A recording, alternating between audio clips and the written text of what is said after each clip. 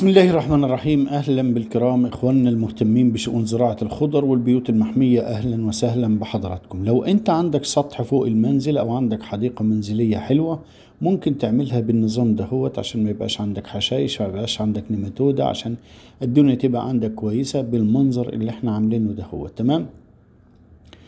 اللي قدام حضرتك ده كان مشتل قديم عندي ولما المشروع طبعا توسعنا فيه فأصبحت الدنيا ما بيكفيش فنقلنا لمشتل أكبر والمنطقة دهيت تقريبا يعني بتعمل حوالي 20 متر في 10 متر تقريبا 200 متر مربع تقريبا يعني.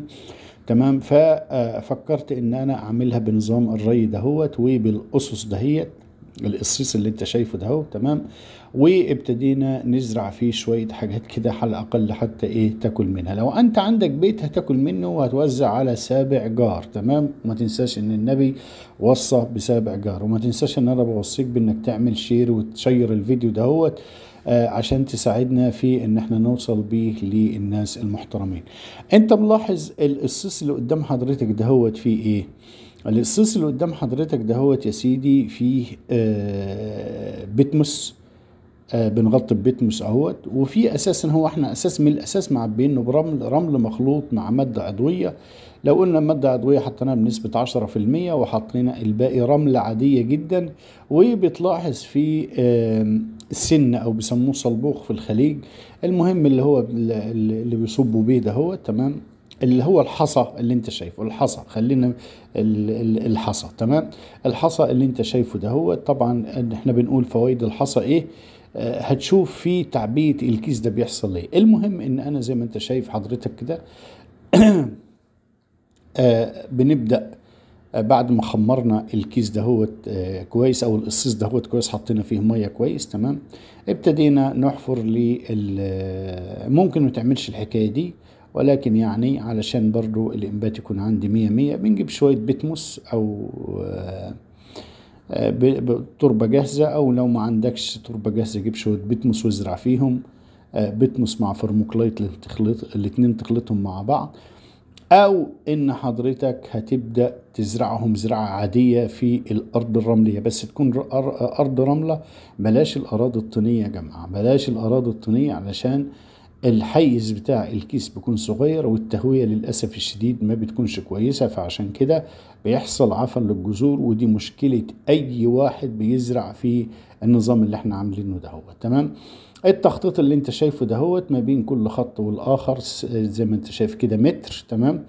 ما بين كل خط وآخر متر تمام؟ أنا اللي هزرع أهو بزرع لك بقى بوضح لك بص شوف الدنيا هتبقى توصل شكلها إيه. ما بين كل خط والآخر أو ما بين كل قصيص والآخر 30 سم بين كل قصيص والآخر بين كل آه صف والآخر حوالي آه متر. تمام؟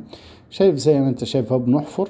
تمام؟ بنحط شوية فرموكلا بتمس أو دي تربة جاهزة وبنبدأ نحط فيها الحبايه طبعا إحنا زارعين هنا خيار زي ما أنت شايف أهو.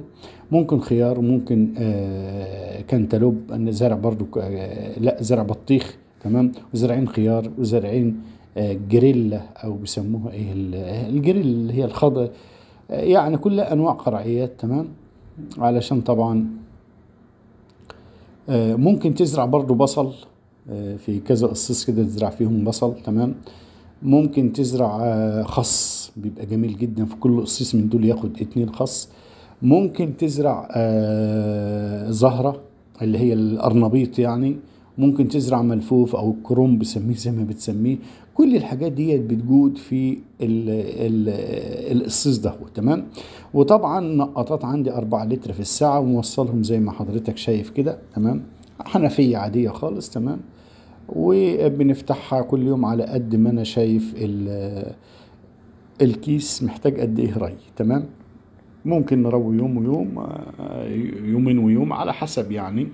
درجة الحرارة وعلى حسب عوامل كتيرة تمام؟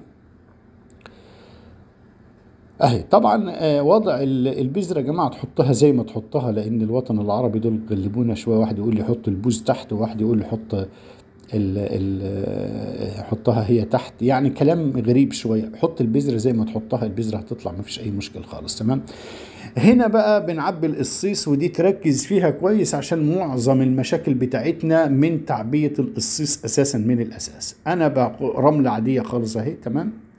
زي الراجل ما شايف بنحط شوية حصى في الأول خالص. بنحط حصى واحد يقول الراجل ده حاطط ماسورة. حاطط ماسورة ليه؟ أهو. أول حاجة الرملة اللي هي موجودة ديت رملة مخلوطة مع آه رملة مخلوطة مع آه مخلوطة مع مادة عضوية دواجن تمام؟ وشايف الراجل أهوت ابتدى يغطي يعمل ابتدى يغطى ملاها كلها اهوت وابتدى يحط الماسورة ويحط فيها الزلط ده. ليه الزلط ده؟ أنا عايز الزلط ده يبقى رأس يا جماعة علشان ما يسيبليش مية في القصيص اطلاقا. لاحظ إن القصيص مخرم من تحت في ثقوب من تحت مثقب تمام؟ أهو طلع ابتدى أهو.